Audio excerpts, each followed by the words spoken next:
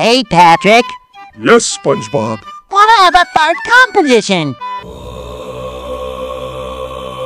I don't know, SpongeBob. I think Squidward is not gonna like it. Oh, please, don't mind him. He's gonna be just fine. You're right? Okay, let's do it. The loudest fart wins. One eternity later.